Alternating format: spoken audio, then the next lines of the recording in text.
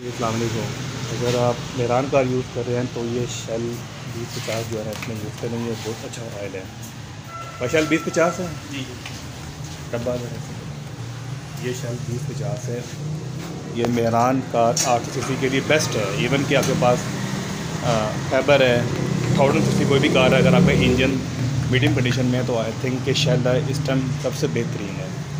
तो अपने motor card में ये शेल का यूज़ करें और ये गारंटी हो जहाँ से आप ले रहे हैं कि वो ऑयल प्योर जैसे कि ये रफ़ीक ऑयल शॉप है जहाँ से हम लेते हैं और बेहतरीन है ये।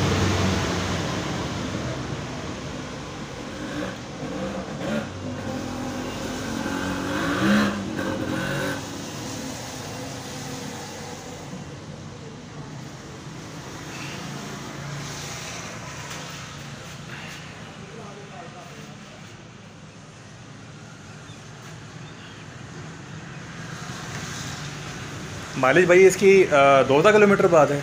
पच्चीस सौ तीन हज़ार पच्चीस सौ तीन हज़ार किलोमीटर। ठीक हो गया।